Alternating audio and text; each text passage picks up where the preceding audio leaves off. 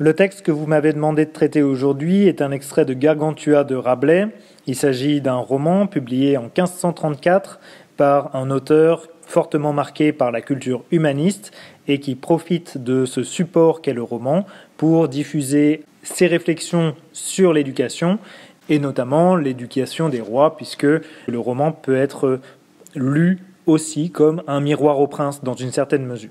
Ici, nous sommes au chapitre 15. Gargantua a fait la démonstration d'un savoir inné, en tout cas d'une curiosité innée pour le savoir, et son père, Grangousier, l'a mis en apprentissage chez un certain Tubal Holoferne. Il s'agit, dans le chapitre 15, de confronter l'éducation de Gargantua à l'éducation de Démon, un jeune page qui a été éduqué par d'autres pédagogues, pour voir quelle éducation est la meilleure.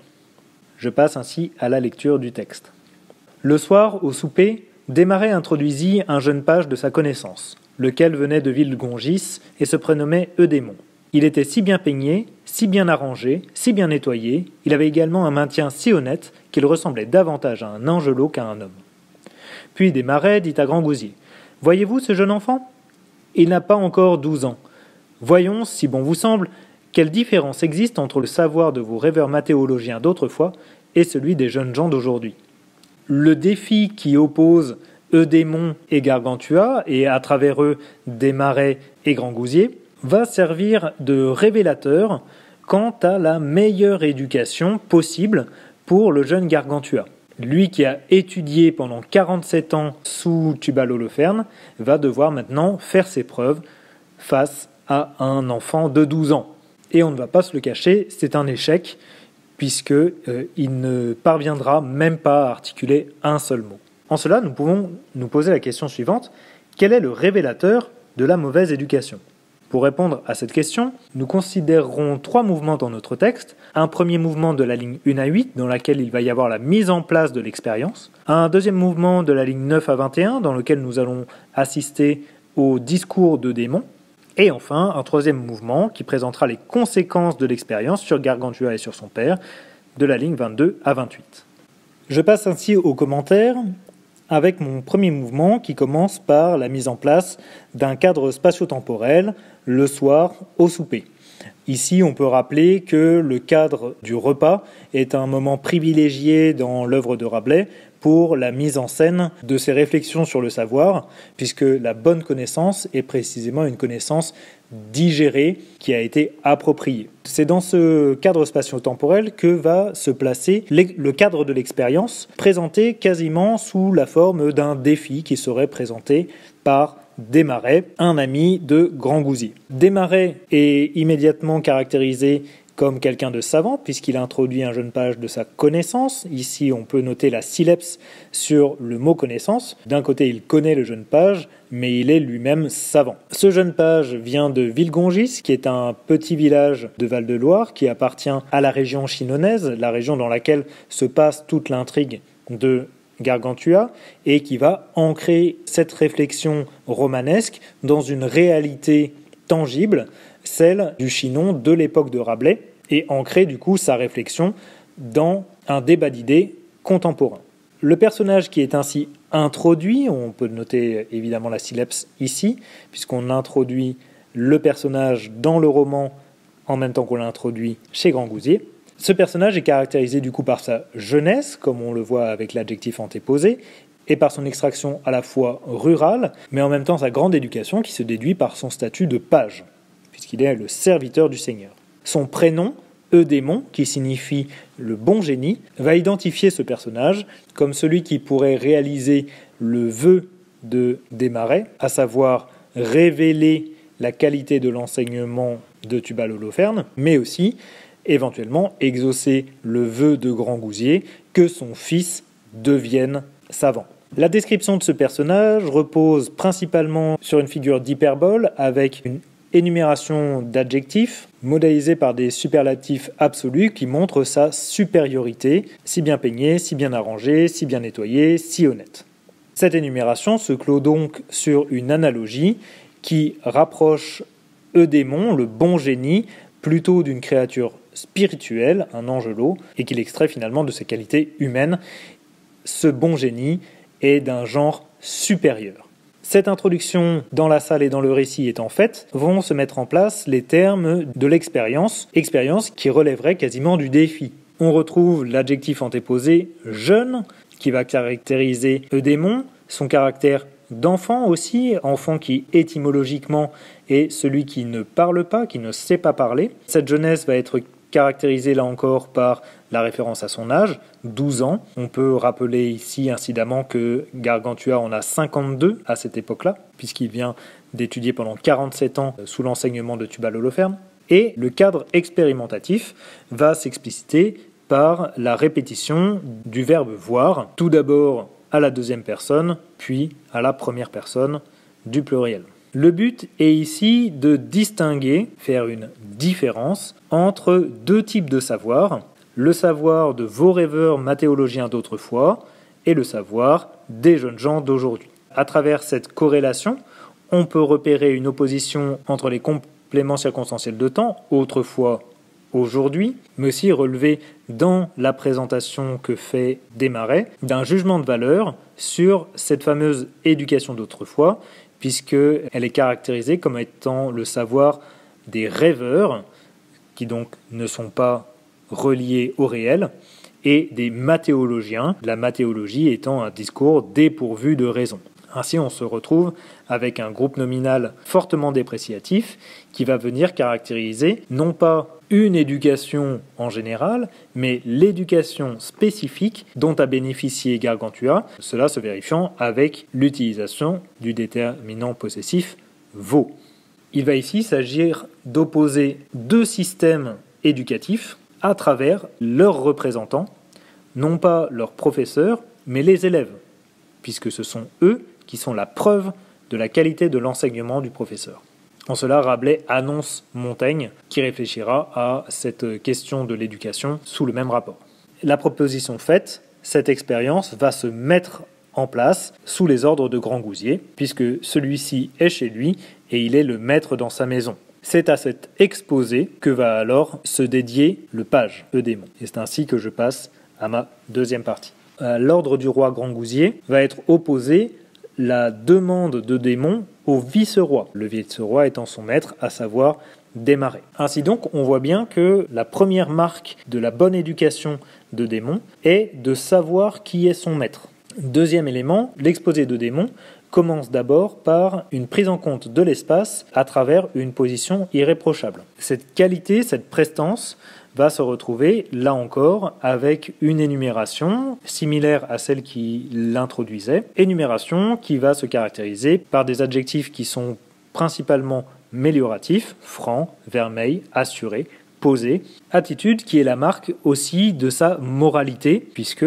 cette attitude est modeste, mais euh, on a bien une confrontation des deux personnages, hein, Eudémon au début de la phrase et Gargantua à la fin de la phrase. D'ailleurs, cette position constitue finalement un chiasme avec la phrase précédente Vos rêveurs mathéologiens qui correspondent à Gargantua et les jeunes gens d'aujourd'hui qui correspondent à Eudémon. Ici, le chiasme va venir modéliser le renversement du point de vue qui va s'opérer sur l'éducation de Gargantua et cette révélation finalement d'une éducation que l'on croyait bonne et qui va s'avérer désastreuse. L'attitude étant posée, nous allons avoir accès par le biais de quelque chose qui ressemblerait à du discours indirect libre, au discours de démon. Ce discours est fortement structuré, premièrement, deuxièmement, quatrièmement, cinquième point, tant au niveau chronologique que finalement au niveau logique, puisqu'il va y avoir adéquation entre la beauté physique et la beauté morale, qui est pleinement ancrée dans une tradition aristotélicienne. On a ainsi euh, comme une captatio benevolentiae qui va s'enchaîner avec une exhortation qui est là encore une étape du discours tel que l'enseignent les sophistes. Et c'est un discours qui va être caractérisé par sa modération, hein, comme on le voit avec l'adverbe doucement. La formulation elle-même extrêmement complexe, avec des propositions insérées les unes dans les autres, avec des propositions infinitives aussi, avec une antéposition des adjectifs par rapport au nom qu'ils complètent, va venir montrer finalement la complexité de la pensée du personnage qu'il exprime ainsi. La modestie annoncée par sa posture va trouver une preuve dans son discours à travers cette minimisation, hein, même au rang de plus petit serviteur, avec un superlatif relatif qui va accentuer encore cette position de servilité et de modestie. Et la qualité de sa rhétorique va se retrouver aussi dans la sylepse sur le mot présent, puisque ici pour le présent signifierait au moment où il est en train de parler, ce qui se vérifie par rapport à la suite de la phrase, il ne me demande pas d'autres dons des cieux, etc. Mais en même temps, la convocation en contexte du mot don appuie aussi sur le sens qui est celui de cadeau, euh, de don précisément. Ainsi, on aurait un jeu sur les syllabes qui montre vraiment la qualité du discours. Dernier élément qui montre la bonne éducation de démon, eh bien, c'est précisément cette maîtrise tout en modestie qu'il a de la mobilisation religieuse à travers l'idée de don des cieux, à travers l'idée de grâce aussi, qui n'est pas ici excessive et qui est là pour soutenir l'argumentation et non pas comme but de l'argumentation lui-même. Après la posture, après le discours, nous avons accès dans la narration à l'ensemble des gestes, à l'ensemble du contexte d'élocution, ce qui va constituer tout l'aspect de l'éloquence. On parle des gestes, de la prononciation, de la voix, du langage, et là encore, on retrouve le même type d'énumération fortement améliorative avec la modélisation du comparatif de supériorité si que, qui va être répété à chaque fois. Ce comparatif de supériorité va servir ici une analogie qui va assimiler Eudémon d'une part à un Gracchus, un Cicéron et un Emilius du temps passé, plutôt qu'un Genot de ce siècle, ici à travers un deuxième comparatif de supériorité qui va renforcer justement la qualité de cette prestation. On va opposer là encore le temps passé et le temps présent, mais de manière à montrer qu'il y a une mobilisation, une réactivation pertinente des grands exemples du passé, ce qui est là encore typique de la Renaissance. Enfin, on peut remarquer à travers l'usage de la police indette l'éloge de démons qui ne parviendrait pas à s'arrêter et qui le placerait finalement comme supérieur à ses propres modèles. Je passe ainsi à la troisième partie, qui commence par une conjonction de coordination à valeur adversative, mais qui va opposer radicalement la qualité du discours qui précède avec l'inexistence du discours qui succède, celui de Gargantua. Normalement, le défi consisterait à opposer de discours. En réalité, en fait de discours, Gargantua ne réussit qu'à pleurer comme une vache. La comparaison ridicule souligne le ridicule de Gargantua lui-même. L'opposition ne se traduit pas simplement grammaticalement, mais aussi dans la position des deux personnages. Là où Eudémon se tenait debout avec son bonnet à la main, Gargantua se cachait le visage avec son bonnet, probablement euh, recroquevillé dans un coin, à pleurer comme une vache. Et au discours indirect libre de démon est opposé l'impossibilité totale, avec la négation totale, de tirer de lui une parole. Au discours est opposé le silence ou l'absence de parole. Finalement, celui qui est enfant n'est pas celui qui paraissait enfant. C'est bien Gargantua qui n'est toujours pas adulte à 52 ans puisqu'il ne sait toujours pas parler. Et dernier élément, eh bien, cette comparaison, cette opposition entre les deux personnages va se caractériser là encore avec la reprise de la même figure de style, à savoir le comparatif de supériorité. Mais là encore, comparatif de supériorité qui va s'appuyer sur une comparaison ridicule à travers cette image du paix que l'on essayerait de tirer d'un âne mort. Donc ça, c'est la première conséquence de cette confrontation à une bonne éducation, et eh bien ce serait la, honte finalement de Gargantua.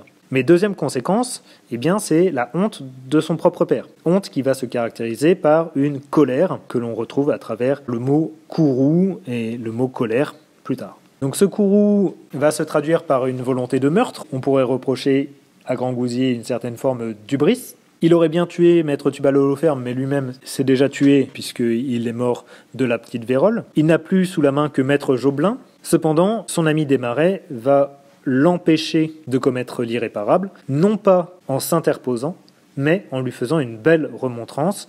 Ici, on note l'adjectif antéposé qui va accentuer la qualité de la prise de parole de Desmarais, qui non seulement est belle, mais aussi est bonne. Et on retombe toujours dans cette espèce d'identification de la beauté et de la bonté typique de l'aristotélisme. Là où les deux enfants étaient opposés sur des étaient caractérisés par des comparatifs de supériorité, eh bien ici, la relation entre les deux adultes va être caractérisée par un comparatif d'égalité, si bien que, qui va montrer finalement que ces deux personnages sont des personnages rationnels, tempérants, moraux, et cette moralité du père, qui est capable de s'adapter, va se traduire là encore à travers un ordre. Hein. On passe de l'ordre d'exécution de l'expérience à l'ordre d'exécution symbolique du pédagogue. Il ordonna qu'il lui fût payé ses gages, qu'on le fit chopiner sophistiquement et qu'il alla à tous les diables. Là encore, on voit que Grand Gousier lui-même, tout comme démarrait au début du texte, est caractérisé justement par une bonne éducation. Cette bonne éducation étant modélisée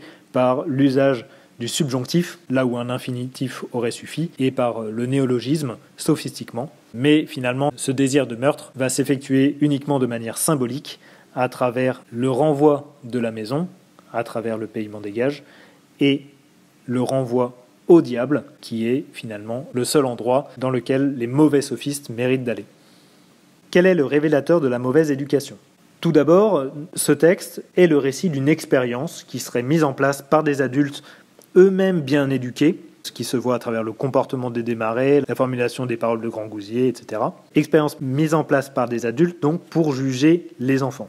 Et précisément, le premier révélateur de cette mauvaise éducation va être le statut d'enfant. L'enfant ici, celui qui est incapable de parler, n'est pas celui qu'on croit, puisque au discours de démon, un discours qui est très fortement construit, et qui est le signe d'une bonne éducation, va être opposé à un silence honteux, le silence honteux de Gargantua, qui est en PLS dans son coin. Et finalement, c'est la bonne éducation dont parle le texte. Une bonne éducation qui serait caractérisée par la maîtrise de la parole, mais aussi par un héritage antique qui serait digéré, comme le signale le cadre spatio-temporel de la scène. Et en cela, Rabelais s'inscrit bien dans la lignée des humanistes de la Renaissance. Finalement, la mauvaise éducation se révélerait par cette incapacité à parler, mais aussi et surtout par rapport à l'inadaptation du personnage. Puisque finalement, nous avons trois personnages qui arrivent à s'adapter à la situation contre un qui ne s'y adapterait pas du tout. Et c'est précisément cette inadaptation qui va révéler cette mauvaise éducation. En définitive, la mauvaise éducation va être révélée en négatif à l'occasion d'un exemple de bonne éducation. Je passe ainsi à la question de grammaire. Vous m'avez demandé de traiter les expansions du nom dans le troisième paragraphe. Les expansions du nom sont l'ensemble des mots qui vont être ajoutés au groupe nominal de manière à lui ajouter des informations. On peut citer les propositions subordonnées relatives, nous n'en avons aucun exemple ici. Les compléments du nom, nous en avons deux. Et les adjectifs, nous en aurons six à analyser. Je commence par les compléments du nom, ils sont deux simplement et ils sont à la fin de la phrase du temps passé et de ce siècle qui vont compléter respectivement un Gracchus, un Cicéron ou un Emilius et un genou. Dans les deux cas, nous avons bien un groupe nominal, le temps passé, ce siècle, qui est introduit par une préposition de dans les deux cas. Simplement, de plus le sera contracté en du pour du temps passé.